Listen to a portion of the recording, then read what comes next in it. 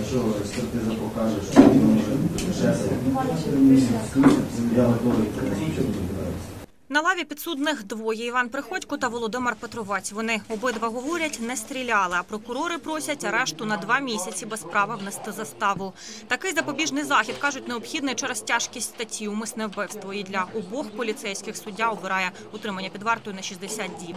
Прокуратура кілька разів змінювала кваліфікацію статті від необережного тяжкого тілесного ушкодження, вчиненого за попередньою змовою групою осіб до умисного вбивства. Саме з останньою версією не погоджується захисник підозрюваних. Мовляв, ця стаття не відповідає дійсності. Ніякого умислу на вбивство п'ятирічного хлопчика в жодної особи не було.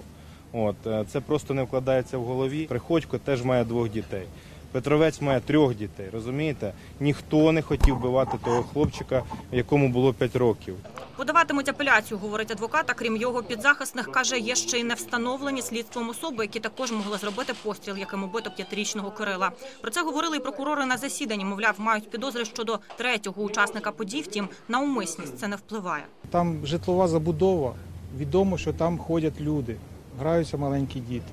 Тому е, стріляючи, навіть не бачачи цілі е, ну, людини, це вже є умисність. Прокурор каже, хто саме зробив постріл, слідству невідомо. Втім, відповідатимуть обидва підозрюваних. Не знають, із якої зброї стріляли в дитину. Її й досі не знайшли. Не проводили експертизу, щоб з'ясувати, чи були поліцейські в стані алкогольного сп'яніння. Вони відмовились від тесту. Мають таке право. Свідки е, вказують на те, що вони були в стані алкогольного сп'яніння, хоча е, доказів фахових в цьому поки що немає. Кого саме ще підозрюють у цій стрільбі, прокурор не говорить. А в державному бюро розслідувань новинам на першому пообіцяли прокоментувати це згодом. Олена Блізнякова, Влада Прізова, Олександр Тимінський.